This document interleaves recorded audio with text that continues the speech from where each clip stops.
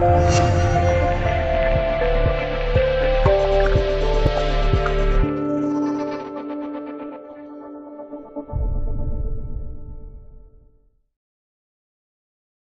标题：十年内茅台三高管落马，有人受贿因看世界杯案发。法制晚报看法新闻，记者董振杰昨天，贵州省纪委监委微信公众号发表文章，从贵州茅台退休一年多，他还是没能平安着陆。文中谈到了茅台集团原党委委员、茅台酒股份有限公司原副总经理、财务总监谭定华，因严重违反党的纪律和国家法律法规。被开除党籍、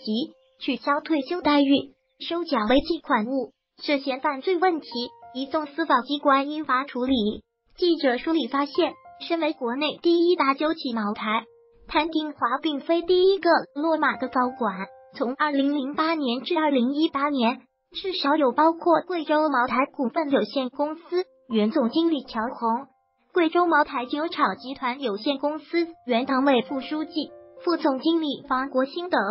先后因受贿上千万元被判刑，其中一名高管更是因为在韩日世界杯期间带人赴韩国看球，因接受承办单位贿赂，导致案发。茅台集团原总经理乔红受贿千万被判死缓。乔红，一九五三年出生，大专文化，高级经济师，曾任贵州茅台酒股份有限公司总经理。贵州茅台酒厂有限责任公司董事、党委副书记。公开资料显示，乔红在担任茅台集团总经理之前，曾任贵州省纳雍县县长、毕节地区轻纺工业局局长等职务。二零零零年，乔红从贵州省轻工厅副厅长的职位下放到下属企业贵州茅台股份有限公司担任总经理。二零零七年四月三十日，乔。红被贵州省纪委的人带走，随后被双规。此消息传出后，曾引发茅台股票在五月十日紧急停牌。